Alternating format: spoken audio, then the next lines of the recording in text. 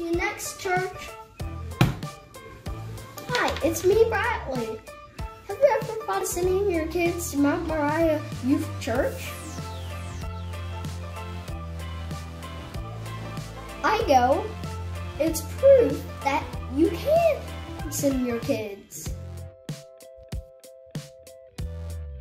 I'm seven and I'm turning eight soon, meaning between like grown up and kid can go.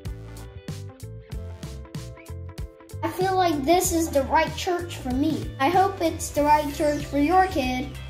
Bye.